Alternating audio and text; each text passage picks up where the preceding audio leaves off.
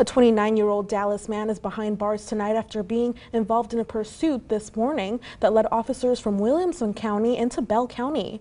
It happened around 1 this morning. A 2020 Jeep Wrangler stolen from Austin was being tracked by the XM radio inside the car. The GPS signal placed it on I-35. A Salado police officer found the car and began a traffic stop. The Jeep stopped but then sped off. Bell County Sheriff's Department units chased behind it through Belton and into Temple. The car crashed through a chain behind the Lowe's store off of HK Dodgen Loop.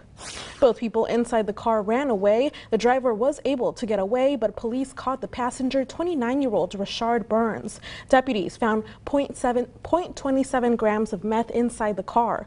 Burns is being held at the Bell County Jail. The investigation is ongoing.